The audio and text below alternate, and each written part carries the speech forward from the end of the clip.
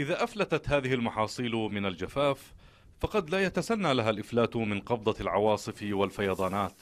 فلم يعد هناك موضع على هذا الكوكب الأزرق إلا ولحقه التغير المناخي وبشكل لم يعهده في تاريخه. المنتدى الاقتصادي العالمي يلتحق بركب المنذرين من الأضرار التي سيخلفها التغير المناخي والذي سيلقي بظلال ثقيلة على محاصيل زراعية مهمة اعتاد المستهلك على ابتياعها بأسعار مقبولة. فقد أدى الصيف الطويل المصحوب بحرارة عالية وجفاف غير مسبوق إلى الإضرار بمحصول الزيتون في منطقة حوض البحر المتوسط ليرتفع سعر الزيت إلى أعلى مستوياته على الإطلاق. وهو الأمر الذي عزاه المنتدى إلى انخفاض معدل الهطول المطري وارتفاع الحرارة إلى أكثر من معدلها بنحو ثلاث درجات في بلدان مثل إسبانيا وإيطاليا التي تضررت أيضا من تدني إنتاجها من الأرز الذي بلغ أدنى حصيلة له في 23 عاما. في الهند أدت الأمطار الموسمية المتأخرة والغزيرة إلى إتلاف محصول الأرز لتضطر نيودلهي مكرهة إلى وقف تصدير المنتج الأبيض غير البسمتي.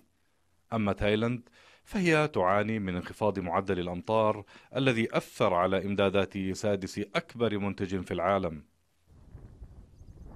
المزارعون في كاليفورنيا الذين يشعرون بوطأة الجفاف أكثر من أي وقت مضى اكتفوا هذا الموسم بنصف ما اعتادوا على غرسه من الأرز بعد أن تعرضوا العام الماضي إلى خسارة قدرها 700 مليون دولار وفقدان 5300 وظيفة مرتبطة بنشاطهم ظاهرة امتدت من منطقة الساحل الغربي إلى وسط الولايات المتحدة.